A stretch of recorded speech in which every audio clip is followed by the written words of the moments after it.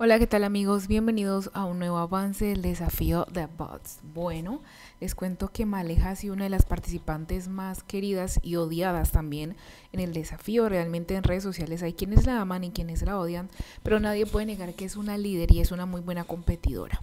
Recientemente en redes sociales se está diciendo que ella será la próxima en salir en este ciclo porque se han filtrado unas imágenes de ella fuera del desafío de bots aunque esto es algo que no se pueda corroborar porque supuestamente ya todo está grabado, entonces es imposible saber si es ella la que sale en este ciclo.